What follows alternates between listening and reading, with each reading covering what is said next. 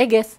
So if you've been trying to make like attack drones using static weapons like this, uh, sometimes you might see that when they try to aim, they kind of oscillate or swing back and forth like that. Well, the solution to that is pretty simple. Uh, you basically just reduce the, look at the drone. You just basically reduce the power of the gyroscope. Uh, in this case, I'm gonna reduce it to 5% and I'm gonna copy paste the enemy grid again.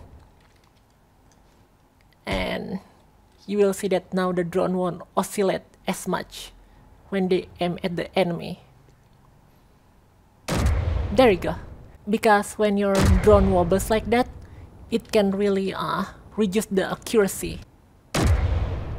And this doesn't always happen but this can happen when your drone is wobbly like that but you also want to make sure that you don't set it too low because when you set it too low then your drone won't be able to actually aim at the target as you can see here.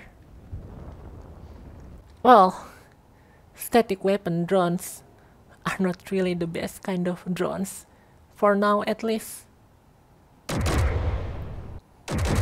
Well there we go. So 20% is still too high for this drone but you just gotta find the right balance. So uh, those are not gonna make your static weapon drones 100% accurate.